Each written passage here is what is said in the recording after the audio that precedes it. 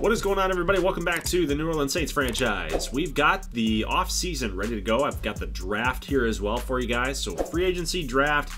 We got the whole off-season in this episode, and I hope you guys are ready for it because I'm ready to make some moves.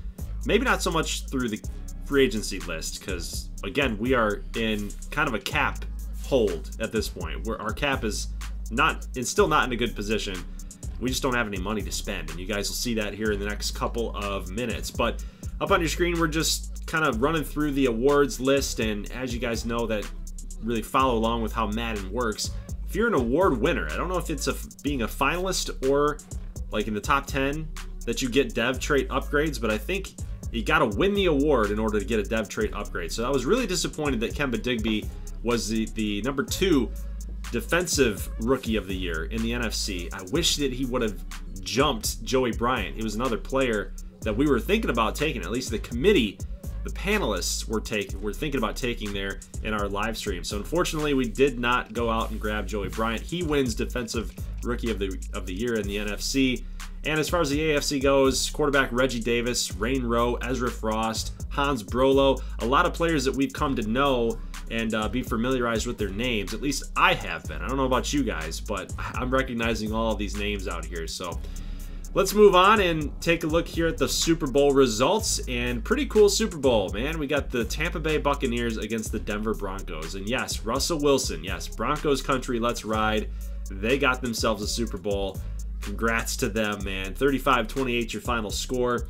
And now let's take a quick rundown at the retirees. We got Demario Davis retiring for our Saints. A couple players from the Raiders there Chandler Jones, Trent Williams, Marvin Jones.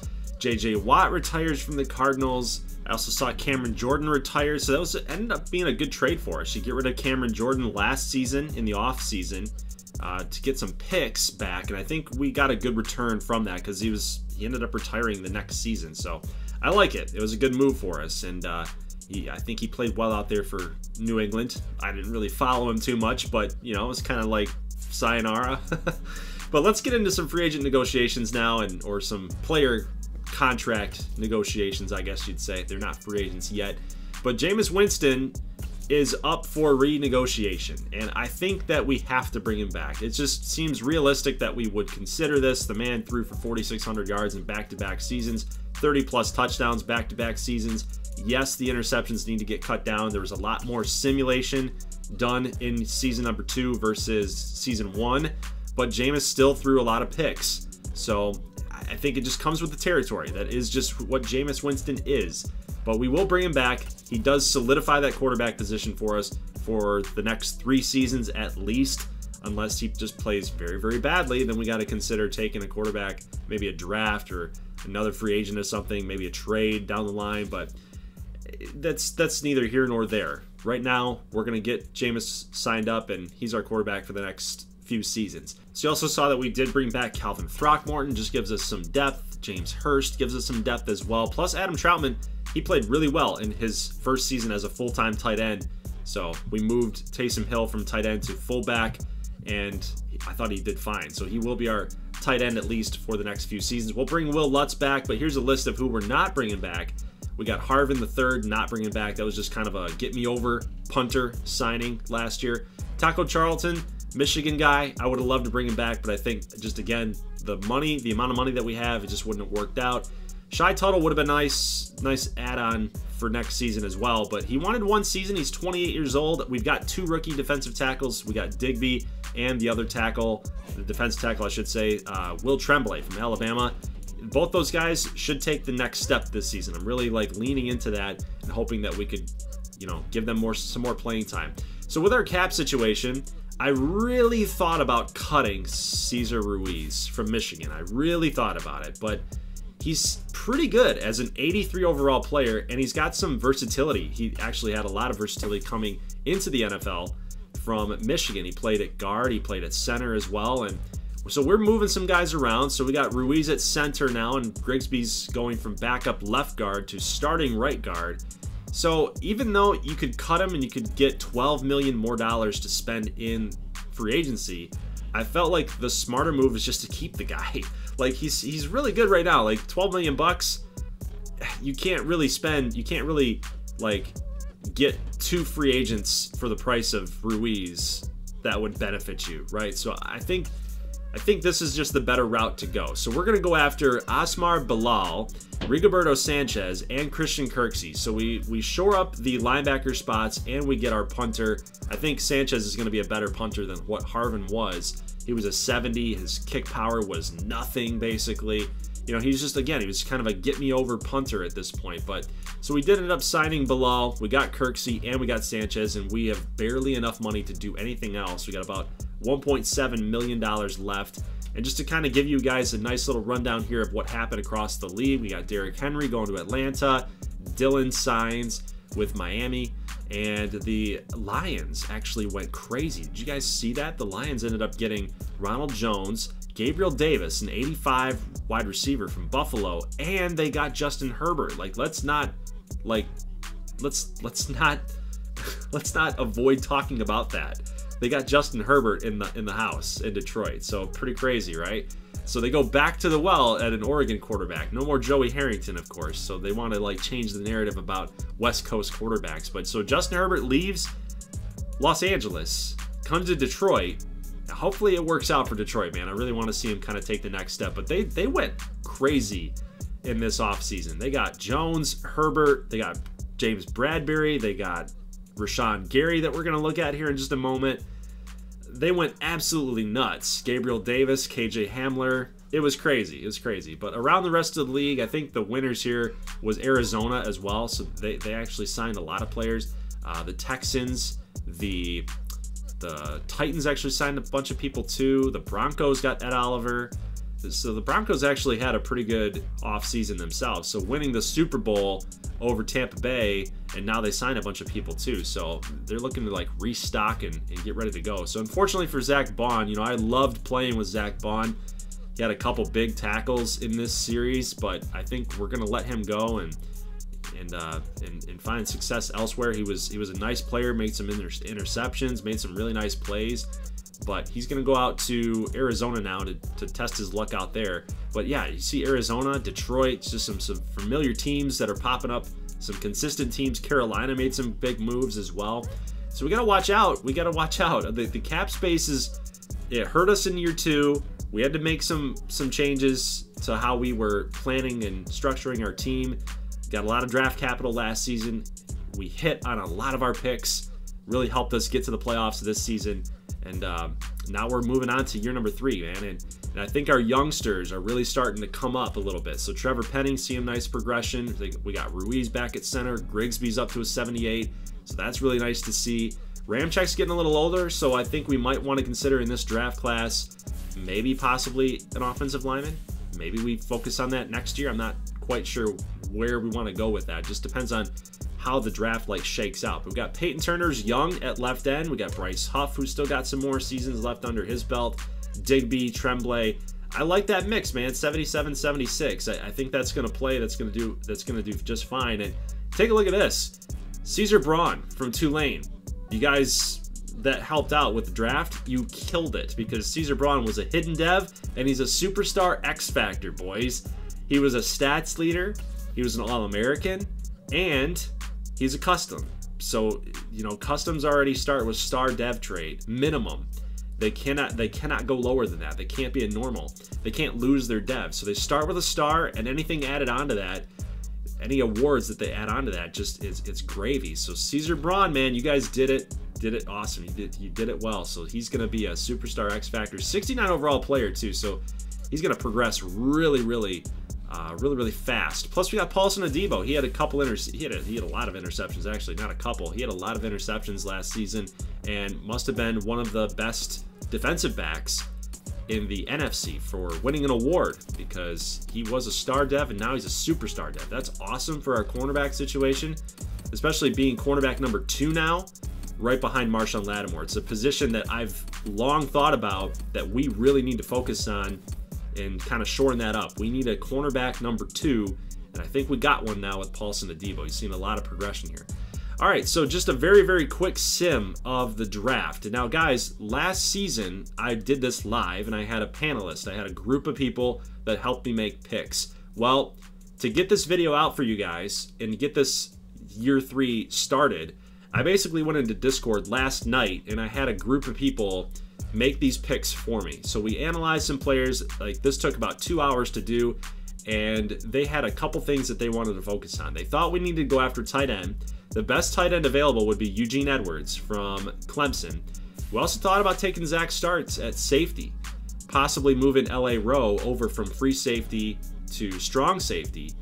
And, you know, we take a look at what we've got here with Zach Starks. This, this guy's a boss from Alabama. He's he's great. He's a top five in almost every category uh, for measurables in his pro day and his combine. But ultimately, we decided that we were going to go with Eugene Edwards. He's a normal dev. So there you go. In first round, a first round tight end, late pick in the first round, but it, it did kind of hurt us. So again, I make all the players. This, these guys are all coming in from the Cajun 6 series. So I know who all these guys are. I know what their dev traits are.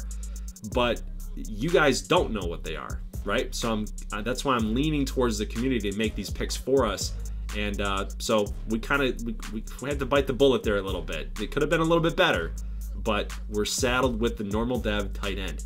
Mario Jones from ULM would have been a nice pick there, I think, but his F block shedding something to consider, and we didn't go that route. So looking at everything else here, we were maybe thinking about free safety, shade and Sprinkle.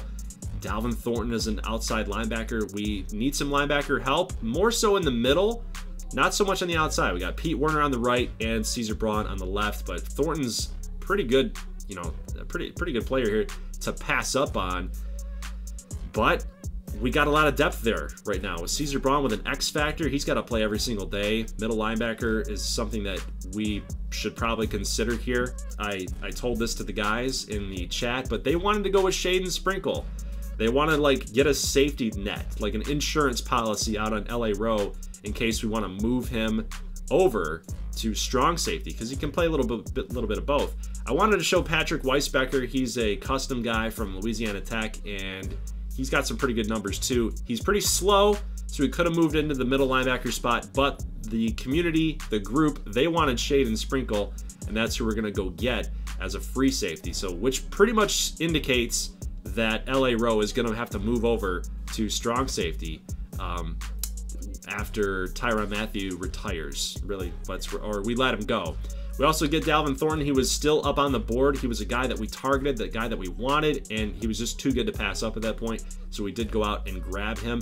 Now, Jordan Barabalt, the Tulane wide receiver, he was a season record holder, a single season record holder at Tulane for receptions and yards. Guy was amazing, but he's slow very slow for a wide receiver. He runs a 4.8, but he's a very physical receiver, standing six foot one. Some good spectacular catch. Might be a guy that we could take a little bit later, but they also considered Donnie Doan from Southern. Runs a 4 4. We looked at David Garrett, a guy that coming out of TCU, nice power back, could be a nice complement to Ryan Armstrong once Kamara is gone. But they wanted to go with Donnie Doan, and he's got a hidden dev, so he's a custom guy. He's, he's probably going to be a minimum of the star dev. And Jordan Barabalt is also a minimum star dev. So we were able to get both Cajun 6 players here, Barabalt and Donnie Doan, late, which was nice, but I, it, it was unexpected that Barabalt was going to fall all the way down to that position. I like the Donnie Doan pick. I personally would have gone with Garrett, the, the TCU running back, but they kind of like the idea that Donnie Doan's going to be that elusive guy, that receiving back, maybe that Alvin Kamara replacement someday, Chase Edmonds type of player, right? Something like that. Jahvid Best type of guy, a, a receiving back versus a power back, which uh, Garrett would have been. We basically would have been tied with two two power backs. We'd have Armstrong and Garrett. It's kind of like they both do the same things. There's nothing like there's nothing differentiating your running attack really at that point. So Donnie Doan, nice depth pick right there as we're just kind of running through the rest of the draft class here. So a couple standouts we've got, let's see, Eric Thorne, a left tackle, would have been a nice pick for us, but we didn't have a second rounder. We had a late first, no seconds, late third, and the rest was history there, guys. So a um, couple players that I was thinking about grabbing would have been like um, Mike Scales, running back from Ohio State, possibly uh, Ronnie Good. I, I, like Ronnie Good from Boston College. There's Connie Goodson Jr. going to the Detroit Lions. He is a custom player. Cooper Caddick, the lefty. Yo Monroe. You guys remember the video that posted earlier today? He's got he had 11 touchdowns, no picks. So might be a nice little sleeper pick there for Jacksonville. We're actually going to watch that game um, in next episode as we talk about the preseason. But yeah, and that's pretty much all I want to show you guys here with this. Patrick Weisbecker getting taken as a 70 overall player in the fourth round to Arizona. So Arizona still continues to kill it. There's Henry Causey, a linebacker there from Texas A&M, played in the national championship game. So there's a couple players that we probably would have went if I was doing the draft, but I didn't want to do that. I wanted to go with the community vote. I really think that that's important for this series because I, again, I make all these players. I know who they are. I know what their dev trait is. I know how good they are, and that that's kind of cheesy for me, right? So I don't think that that's pretty fair. But the tight end, Eugene Edwards, our number one pick or our round one pick, our first pick, he's going to be tight end number two, right behind Adam Trautman. I think that's going to be a really nice spot for him. We do use a lot of dual tight end sets right there. I think that that's going to do us a lot of good. Very good receiving tight end, a vertical threat. And our linebacker spot, we got Braun, middle linebacker, being Kirksey and Barnes. There we go. Barnes. Sorry. and Werner at the right. And then our cornerback situation with Alontae Taylor, Bradley Roby, Marshon Lattimore, Paulson Adebo it's a good team, man. It's a good team. It's getting better. It's getting better. I think uh, last season was definitely the the year that we wanted to see where we were. Nice bar test about where we were, coming off of a Super Bowl loss against the Chiefs in season one. Made the playoffs, won a playoff game, lost to the Cowboys in the divisional round, unfortunately. But um, I think this season we do look a little bit better and I think we should win two playoff games. That's going to be the goal yet again, is making the playoffs as many times as possibly can in this series, guys. So kind of holding serve as that expectation continues. So guys, that's it for the video. Leave a like if you like this thing. Next time I see you will be next Thursday, and we will be covering the preseason and week number one action, and uh, we'll get that underway. So guys, again, leave a like if you like this thing. Thank you so much for watching, and peace.